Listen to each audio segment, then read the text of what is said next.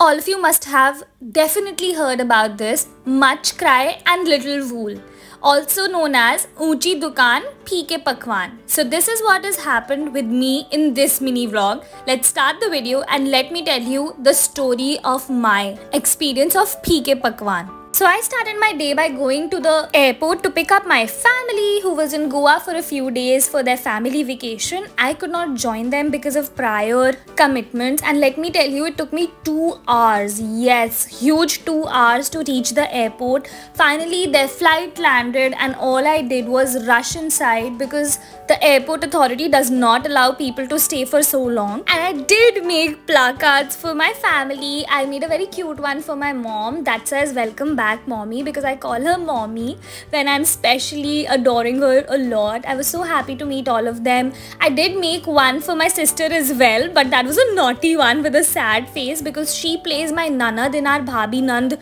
videos and let me tell you you cannot see my elder sister because she is so shy Anyways, just look at her hair, guys. It looks like they had so much fun.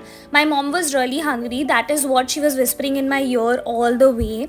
And we were here in Aero City in Farzi Cafe to try out their stuff. Farzi Cafe, I've heard a lot about it. Let's see how the food actually is. And the starting itself wasn't good as soon as it was my turn to sit and as I pulled a chair for my mom, it was so dirty I had to ask somebody to come and clean. We started with lemon water for everybody. Then we met this very sweet fan. I loved meeting her and guys, this was the last thing I loved here any which ways we ordered so much we ordered vada paos pav bhaji pizza soup everything and let me tell you nothing was delicious the pizza was almost burnt and you could have that burnt flavor in your mouth. I did not like it at all. And if I have to recommend you something, you, if you're coming to Farzi Cafe, you must try the pav bhaji. Only that was decent, it was good.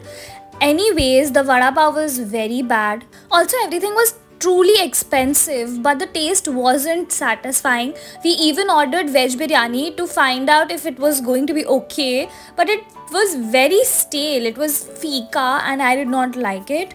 Anyways, my mood was spoiled. Everybody's mood was spoiled. And let me tell you, the staff wasn't active. They were trying to ignore what I was saying. I had to give them a feedback that I did not like anything. And truly telling you guys, I had to clean my own table because I could not wait for them to come in half an hour and clean my table. I was so embarrassed I brought my family here. Even my mum was asking them to come and take this away or do whatever, but they were just not listening. Finally, it was time for my dessert, and I was here especially for the dirt cake, the dessert itself, because it's really famous.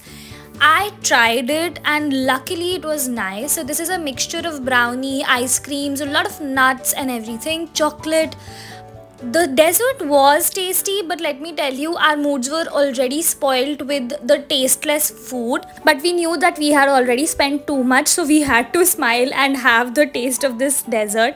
During the time of billing, I checked, they also added service charges, which is wrong. The government has already told everybody, especially the customers, to take care, no service charges, only tip if you want to give it. So i asked them to remove it and then pay it. If you guys liked my video do tell me in the comment section. I love you